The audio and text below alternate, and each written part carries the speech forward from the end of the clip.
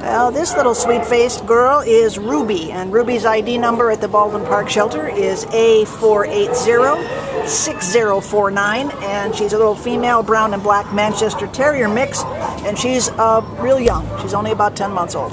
And uh, she was she came in as a stray on March 6th from El Monte, and weighs about 10 pounds. She is a really, really sweet-faced little girl. Um, what Joni says here is that she's she's pretty close to shutting down. This is a harsh environment, and who knows where she's been, uh, you know, where they found her or, who brought her in or anything. So she's going to need some attention. She's she's really responding to the to your touch there, Joni. She Yeah. really, you know, she's she obviously likes human companionship. Doesn't look like she's had much of it. Hasn't had much. No, no, no training obviously at all, and so. But she's a puppy, so um, you know she's going to be a blank slate for you. And you know what? A dog like this is going to be so grateful to be in a pack and feel rescued and feel loved.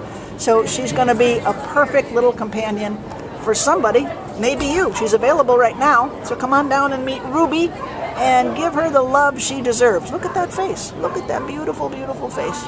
She could just go to sleep right I now. know. She will. Ah, sweetie pie. Okay, Ruby, somebody will come find you.